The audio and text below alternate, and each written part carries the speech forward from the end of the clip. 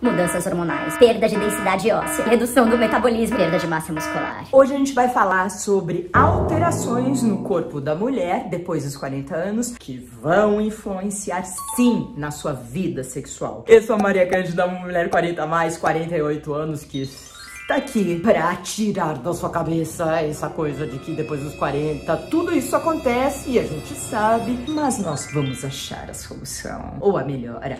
Por que que acontece a secura vaginal, que é responsável por uma dificuldade no sexo? Às vezes a mulher, ela sente dor, porque depois dos 40 anos, e principalmente quando você está no climatério próximo à menopausa... Eu já vou te falar sobre isso, que é exatamente o período que eu estou agora, eu tenho 48 anos. Os hormônios estrogênio e progesterona sofrem severas alterações. E além da secura vaginal, você tem aí também um problema de cálcio. E aí nós começamos a sentir unhas mais fracas, cabelo. A gente tem vídeo sobre tudo isso aqui no canal. Unha não tem ainda, mas tem sobre cabelo, que fica mais fraco, pele, colágeno. E não é depois dos 40 não, a partir dos 30, minha amiga, o colágeno já vai.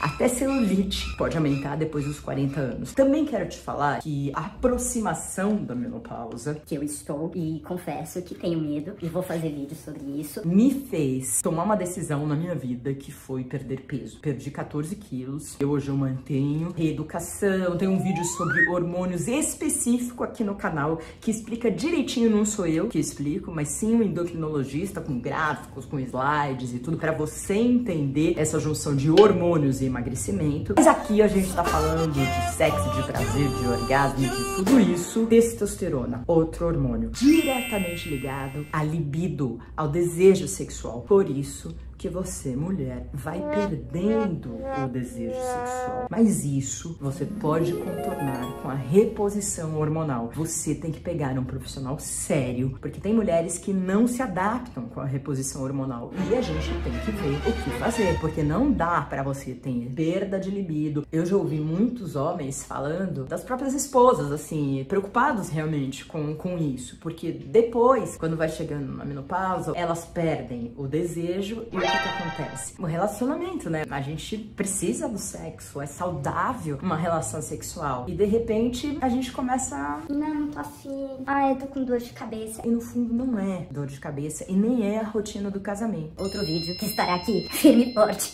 em breve no canal. É simplesmente uma questão hormonal. Então, a gente tá aqui pra falar que depois dos 40 as coisas mudam. Tem desafios? Muitos. Vantagens? Muitas. Porque a maturidade é um grande grande, grande ganho nessa fase. Você procura o seu médico, você estuda, você dá um Google, você vai procurar e vai treinar e vai fazer a ginástica íntima e vai fortalecer a sua, o seu pélvico, o seu lado pélvico.